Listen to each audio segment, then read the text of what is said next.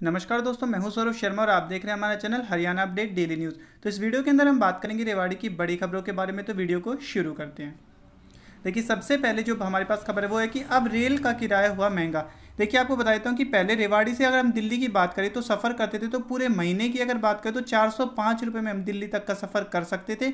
लेकिन अगर हम अब की बात करें तो अब ये जो किराया है 405 से बढ़कर तेईस सौ चालीस रुपये हो गया। आप देख सकते हैं कि कितना ज़्यादा यहाँ पर किराया बढ़ गया है।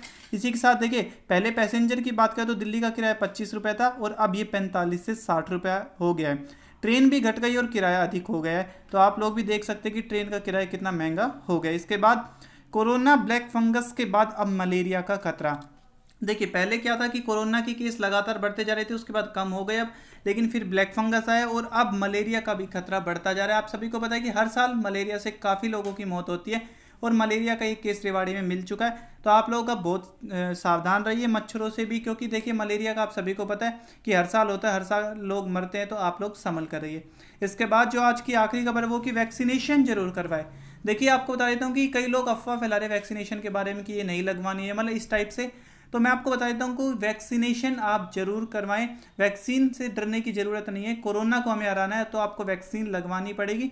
देखिए, हमने भी वैक्सीन लगवा ली। मैं कल एक वीडियो बनाने की कोशिश करूँगा उसमें आपको सारी बातें बताऊँगा। वैक्सीनेशन के बाद उसके क्या क्या मतलब इफ़ेक्ट है आपकी बॉडी पर, क्या हो सकता है, और आपको घबराने की ज़रूरत नहीं और पूरा ये भी बताऊँगा कि आपको कितने बजे रजिस्ट्रेशन करना है। आप कर सकते हैं आराम से।